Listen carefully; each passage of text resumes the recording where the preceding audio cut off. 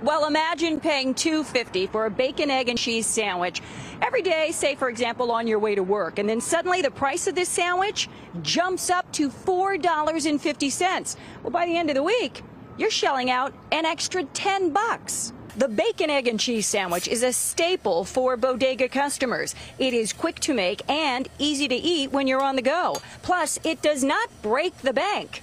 That is, until now. What's the reaction from your Oh, no, customers? no, they always, what?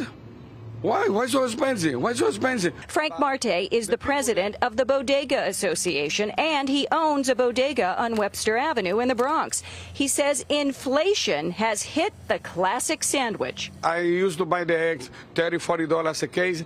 Uh, yesterday we paid 108 dollars for one case of eggs. The price of everything has gone up. This bread, um, like uh, two months ago or three months ago, it was 179. Now, this loaf of bread. For that little, yes. Now it's um, they raised it 229. And Marte says he does not expect prices to come down soon. I would love to say that soon, but I don't see that coming down. In the Norwood section of the Bronx, Linda Schmidt, Fox 5 News.